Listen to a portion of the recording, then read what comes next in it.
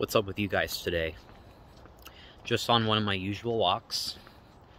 And as you can see by the sky, it's not as nice as, as it was this summer.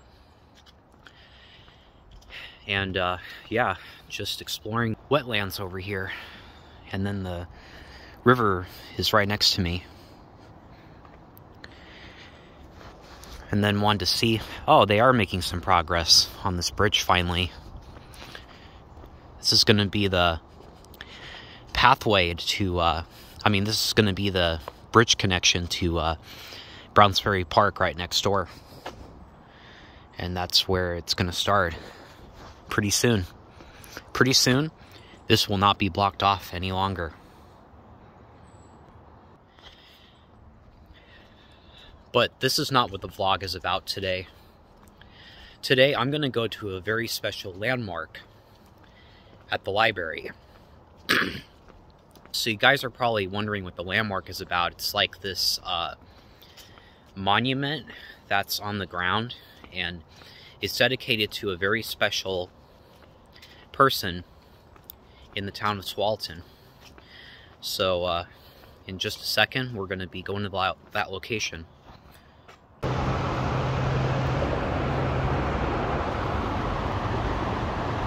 Wanted to check out this cool sign right here.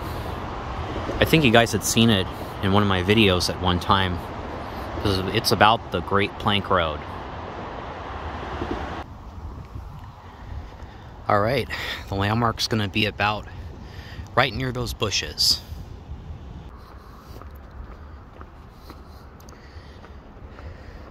Alright, well, here's the memorial site.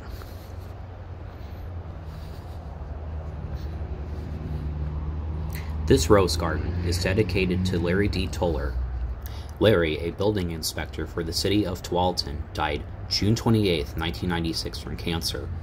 At first, roses were planted on the side of the building, and a sign later encouraged people not to pick the roses. In 2005, Gil Bailey, a Boy Scout with Tualatin's troop, 530, built the memorial you see today for his Boy Scout Eagle project. Since the completion, the library and city offices were completely rebuilt and expanded. Very interesting, isn't it? When I first saw this, I thought it was a headstone or something. Gravesite, I mean. But apparently it's not. Like the sign says, please do not pick the roses.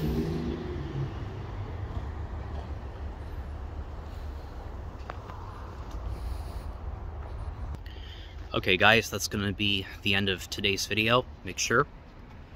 Yep, you know the rest. Alright, have a good one guys.